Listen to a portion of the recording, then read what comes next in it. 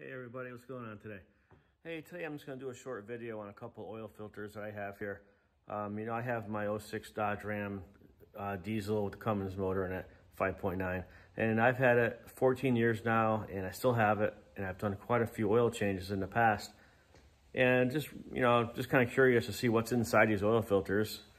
So I cut two of them apart. I've got a Napa Gold filter that I've used and I have my Baldwin filter that I did on my last oil change. So I went and uh, I bought a oil filter cutter. So I cut two open and I'll show you what's inside. Hold on.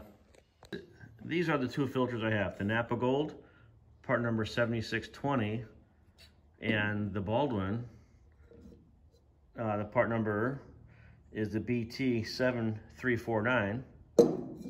And this is the filter that came out of the Napa filter. I mean, it looks nice. It looks pretty well made. I don't see anything really wrong with it.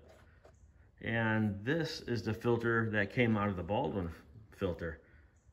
As you can see, there's a, just a lot more filter on this thing, a lot more filter material, I guess you can call it. So if you put them side by side, you can see that there is actually a big difference.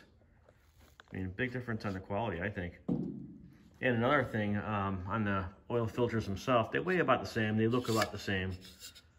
Um, but I, what I did notice on the bottom is, this is the Napa one I cut off the bottom.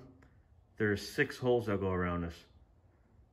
And on the, on the Baldwin filter, there's eight holes.